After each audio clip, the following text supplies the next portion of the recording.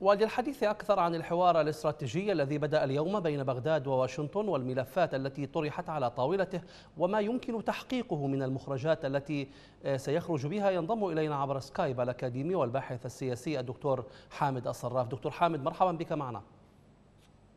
أهلا وسهلا مساء الخير. مساء الخيرات. دكتور صحيفة نيويورك تايمز تقول إن واشنطن ترغب في الحفاظ على وجود قوات لها في العراق. هل تعتقد أن الكاظمي حضر الحوار وفي تصوره أمر غير هذا هذا الأمر؟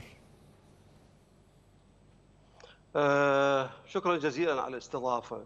الحقيقة المفاوضات أو الحوار أو المباحثات يعني استخدمت ثلاث مصطلحات لحد الآن مختلفة لكنه القصد منها هي فتح باب حوار آه، يبدو جدي من طرف الأمريكان أن يصلون إلى آه، نتيجة مفادها هو آه، حصر السلاح آه، بيد الدولة العراقية اولا الخلاص من الميليشيات والتخلص أيضا من نفوذ إيران.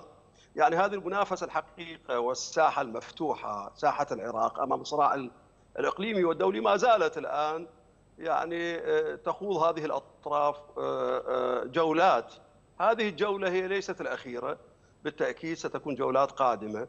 الحكومة العراقية أو إحنا أنا أسميها آه، الحقيقة هو مفاوضات الطبقة السياسية وليست الحكومة فقط لأنه آه، هذه الطبقة هي ممثلة الآن آه، بالوفد اللي حتى في تشكيلة عملت أو عمل نظام المحاصصة بشكل دؤوب نعم. على احتلال مواقع. لكل طرف يجب أن يكون ممثل فيها.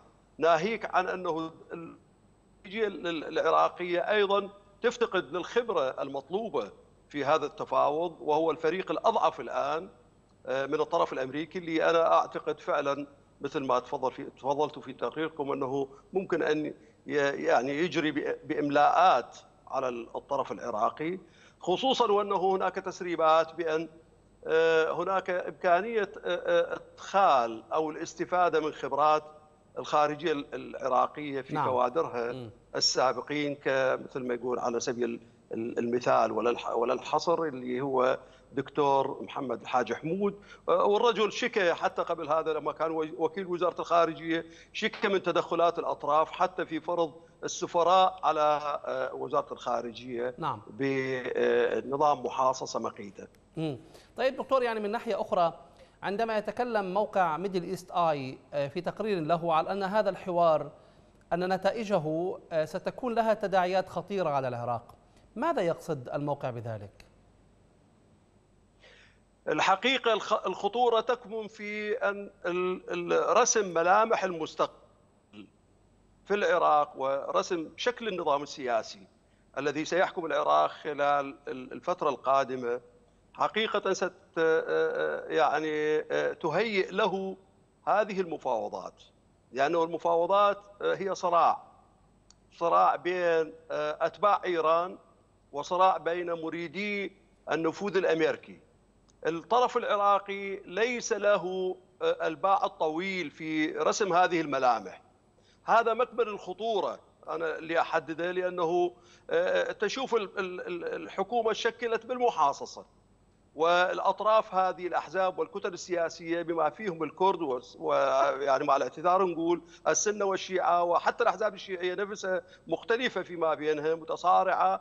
آه، آه، حاولت أن الكل منه يحتكر كرسي آه، الوفد أو الكرسي الأول في نعم. في وفد التفاوض. وهذا هو هذا شكل الصراع. لذلك الحقيقة مستقبل العراق لم يرسمه الشعب العراقي لحد هذه اللحظة.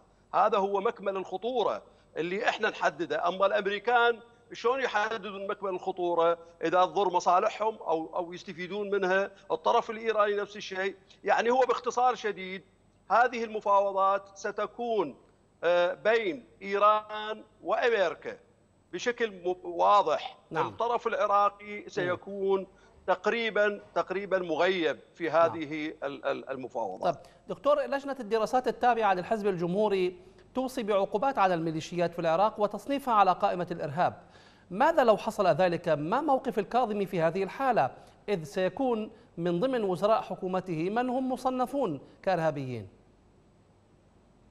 يعني عليه أن يتخذ قرار عليه أن يختار أن يتخلى عن مسك العصا من الوسط نعم العصا منتصف العصا لن ينفع آه، من الآن فصاعدا مع أي آه، رجل في الحكومة الحالية أو القادمة.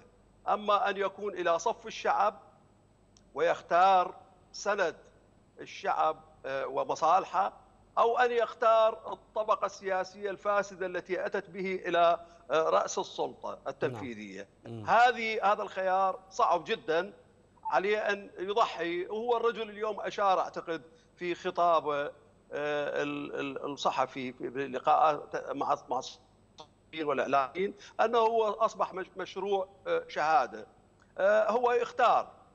بلا استشهاد بلا بلا مزايدات. أن يختار أن الشعب يحميه إذا كان فعلا أراد ينفذ مشروع وطني نعم. حقيقي. أن يضرب يضرب حيتان الفساد ويضرب نظام المحاصصة. إحنا أعطيناه فرصة كانتفاضة كثورة تشرين المباركة. قلنا له حتى باختيار وزرائك. أنت حققت 15 وزارة بالمحاصصة وصعدت إلى آه، منصب رئيس الوزراء. عليك أن تختار السبع وزراء الباقين من آه، صفوف الانتفاضة. نعم. لكنه يبدو لم يتمكن من هذه مم. المحاولة مم. وهذا هو المشكلة المشكلة الحقيقية عليه طبعا. أن يختار دكتور أن يصف إلى جانب الشعب نعم لعل الوضع وضع الميليشيات خاصة الوضع المالي لها لا يخفى عليكم وهذا ما أشار إليه قاآني خلال هذه الفترة هل تستطيع هذه الميليشيات الوقوف أمام التيار الجارف من العقوبات المنتظرة وهل ستستطيع أن تحصل ميزانيتها من الدولة كما قال لها قاآني بحسب صحيفة واشنطن بوست؟ لا مستحيل. هذا هذا الاحتمال مستحيل أن يحدث. هي إيران نفسها الآن أصبحت آه، يعني آه، آه، يعني خانعة إلى حد ما بشكل سري بمباحثات أو مفاوضات سرية تجريها عبر وسطاء كسويسرا وعمان وغيرها يعني دون الإعلان عنها مع الولايات المتحدة الأمريكية لتخفيف العقوبات. الإيرانيين نفسهم النظام الإيراني النظام الملالي في إيران الآن أصبح آه، آه، آه، في وضع خانق لا لا يجرؤ على العمل أي شيء يعني يتحدى به أمريكا. ولذلك نشوف حتى تمرير الحكومة الحالية رغم أنه فيها تنازلات بس هو النظام الإيراني الآن دي يحاول أن يساوم أن يطلع بماء وجهه يطلع بأقل الخسائر لكن أنا أعتقد العقوبات وهذه يعني وباء كورونا آه، أثر تأثير كبير الآن مع آه، انخفاض أسعار النفط مثل ما نعرف. يعني حتى قضية التهريب النفط الآن أصبحت عملية غير مجدية بالنسبة للإيرانيين فلذلك أنا أعتقد الربط بين الميليشيات العراقية وحتى حزب الله في لبنان وحركة أمل والحكومة اللبنانية مؤشر على أن الأمور أصبحت خانقة بالنسبة للنظام نعم. نظام الملالي في إيران لا يمكنه تقديم المزيد من الدعم المالي إلى الميليشيات وبالتالي الميليشيات طبعا أيضا مع الوضع العراقي لا يمكنها سرقة الكثير كما كانت تسرق من ثروات البلد وتعيش ولذلك بعض الميليشيات الآن لجأت إلى غلق مكاتبها في الوسط والجنوب نعم. نعم. هذه نعم. نتيجة نتيجة ضربات الثوار ثوار تشرين المباركة وأيضا آه، الوضع الاقتصادي الخانق ووباء نعم. كورونا أيضا أثر بشكل إيه، أو وعلى ذلك دكتور كيف ترى العراق بعد انتهاء الحوار لا سيما وأن الحوار سبقه قصف للمنطقة الخضراء وكأنه رسالة ما من الميليشيات كيف آه، تراه في المستقبل؟ أنا الحقيقة لا أستبعد أن القوات الأمريكية وقوات التحالف تبقى على الأراضي العراقية في قواعد محددة كأن تكون في يعني قاعدة آه، حرير وعين الأسد آه، ويعني تنسق مع الناتو القوات الأمريكية بشكل أو بآخر إعادة هيكلتها وبالعكس يكون هناك آه، يعني نوعية عالية من التكنولوجيا العسكرية الحديثة يعني مثل ما شفنا إحنا آه، نقل الباتريوت والقواعد وحتى بناء آه، مدرج للبي 52 اللي هي يعني عالية الحمولة. هذه طبعا الاجراءات تدل على أنه الأمريكان ناويين يبقون والميليشيات تندحر والحشد سوف يعاد هيكلته النفوذ الإيراني ينتهي لكنه على العراقيين أيضا أن يفكروا بجد أن هذه القوات يجب أن لا تبقى إلى أبد الدهر لأنه نعم. العراق يجب أن يخلو من كل قوى إقليمية ودولية أن يحافظ على سيادته واستقلاله الوطني. شكرا جزيلا لك دكتور حامد الصراف الاكاديمي والباحث السياسي كنت معنا عبر سكايب.